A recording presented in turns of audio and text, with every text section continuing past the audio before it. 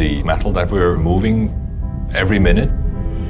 They go up to 25 to 30 tons per piece. The machinery as it's moving, the power that's there.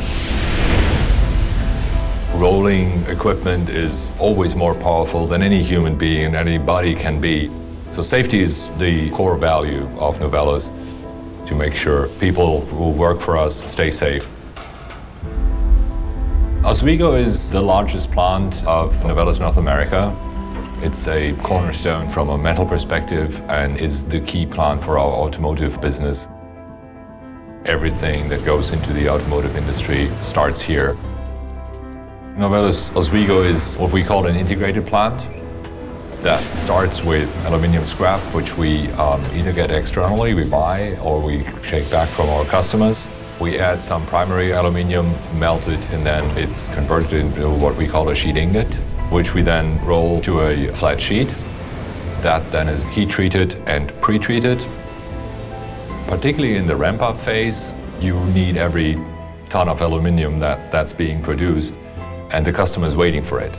You've got to be sure of where that metal is, does it arrive in time, as we entered into the automotive industry, we found out that we need a partner on the logistics field that is enabling us to service the customer with a high level of expertise, a responsiveness that is meeting the automotive requirements, and a focus and attention to detail to make sure that we can deliver our goods to the customers without compromising on safety.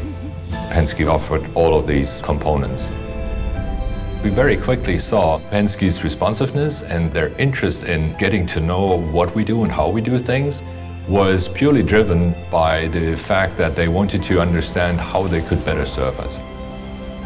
And I think that's an underlying theme that we saw with Penske since the beginning. And that responsiveness, that close partnership also led to developing improvement ideas.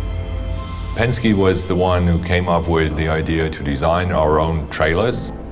We developed that specific trailer together, the UTs as we call them, the uni universal trailers, which now is the core of our um, dedicated fleet for the F-150 program.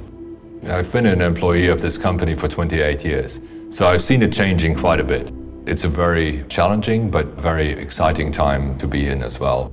The material that we're working with and that we're selling and producing, to me, is a fascinating material.